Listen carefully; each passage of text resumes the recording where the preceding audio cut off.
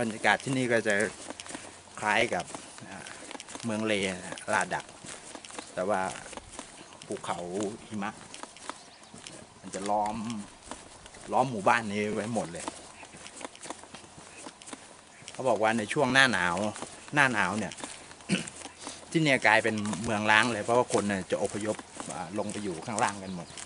ก็จะทิ้งหมู่บ้านเนี่ยให้จมอยู่ในหิมะ แล้วหน้าร้อนเขาจะกลับขึ้นมาอีกทีเพื่อมาทำการเกษตรเพาะปลูกมาทำแคมปิ้งไซต์นะฮะต้อนรับนักท่องเที่ยว ส่วนใหญ่ก็จะเป็นนักท่องเที่ยวของปากีสถานตัวเอง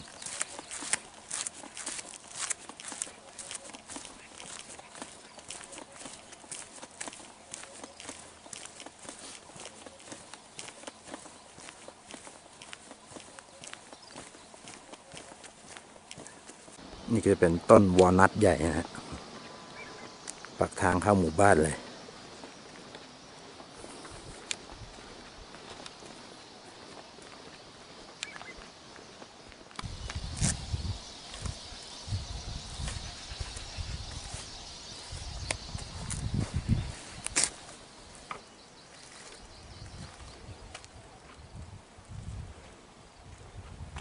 แดดยิ่งมายิ่งสวยครับ หมู่บ้านนี้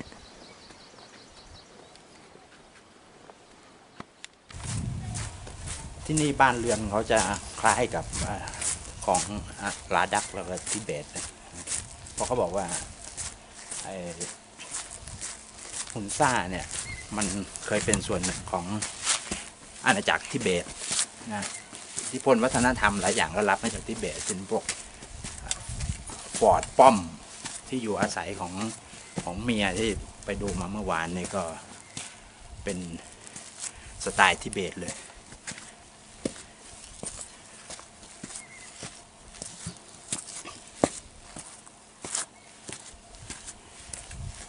แล้วก็พวกสถาปัตยกรรมต่างๆ ก็จะออกแนวทิเบต บ้านผู้คนเนี่ยก็จะเป็น ทรงสี่เหลี่ยมแฟดรูปเหมือนกับที่ทิเบต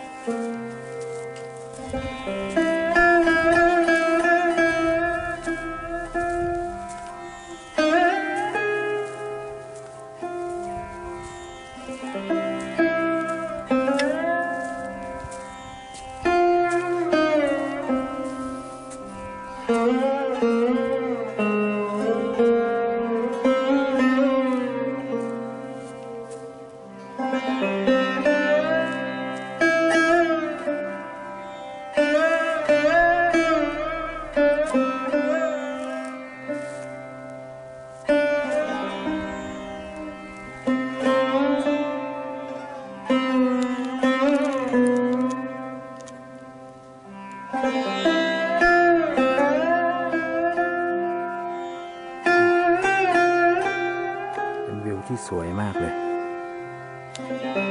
กล้องไม่สามารถเก็บภาพได้ทีเดียวทั้งหมดได้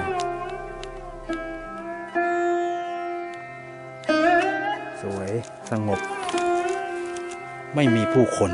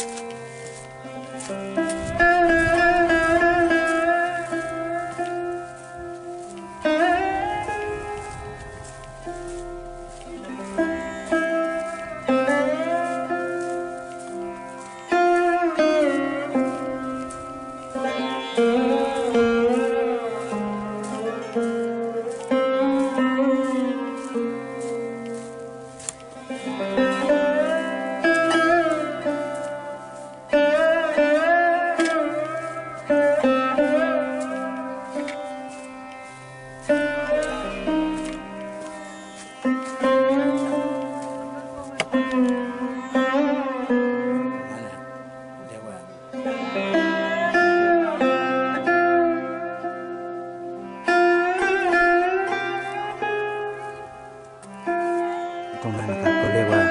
lady finger แต่ว่ามันเห็นแค่ยอดเดียว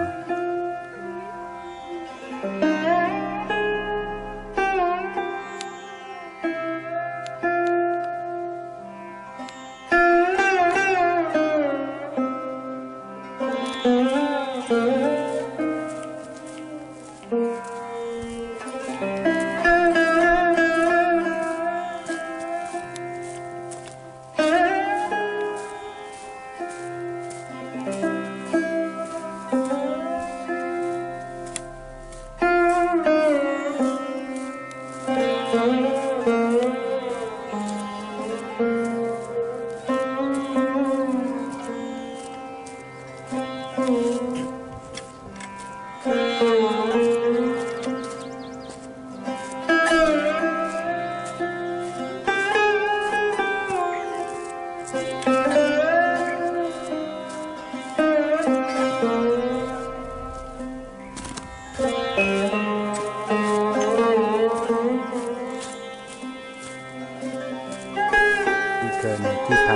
เต็นก็มีเยอะนะฮะก็เพื่อนักท่องเที่ยว ชอบที่จะสัมผัสบรรยากาศธรรมชาติแบบดิบๆหน่อยก็เลือกใช้บริการกันได้